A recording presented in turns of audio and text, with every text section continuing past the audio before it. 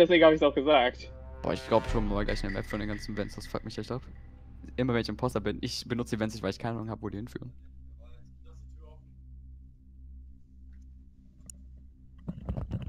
Ah, Amogus.